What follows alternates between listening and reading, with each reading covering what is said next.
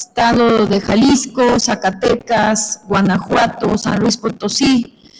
y aquí en Aguascalientes iniciamos una serie de diálogos para poder coordinarnos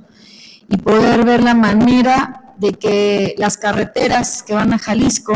que van a Zacatecas,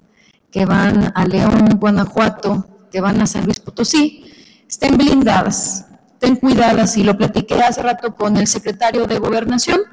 en donde tendremos reuniones importantes para que haya personal que cuide a los ciudadanos que van a estos estados o que vienen a Aguascalientes. Nos interesa muchísimo blindar Aguascalientes y estos convenios cuando en ocasiones están en el límite Aguascalientes, este, a otros estados vecinos, es importante tener la coordinación para ser más eficientes con los fiscales y los secretarios de seguridad y sobre todo pues en coordinación tanto con la Guardia Nacional, con eh, las zonas eh, que está el general Maximiliano, que está en Jalisco, para que podamos nosotros eh, tener estas reuniones periódicas y posteriormente tener una reacción más efectiva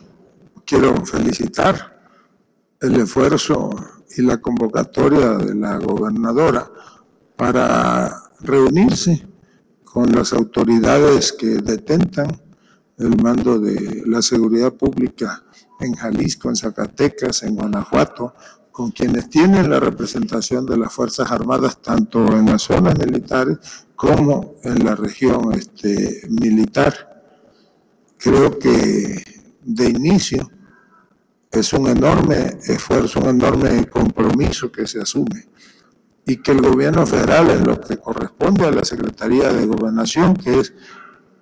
parte del Gabinete de Seguridad, vamos a apoyar con todo a Aguascalientes. Tiene que haber un trabajo coordinado y el apoyo total porque se trata de cuidar a Aguascalientes. Aguascalientes es como un oasis a lo mejor. Y ahora más que nunca debemos de cuidarlo, de apoyarlo.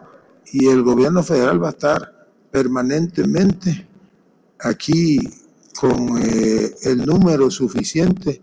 de elementos de las Fuerzas Armadas y de la Guardia Nacional, coadyuvando también en tareas de inteligencia, coadyuvando incluso con las fiscalías, con en este caso con la Fiscalía del Estado, como se ha venido haciendo.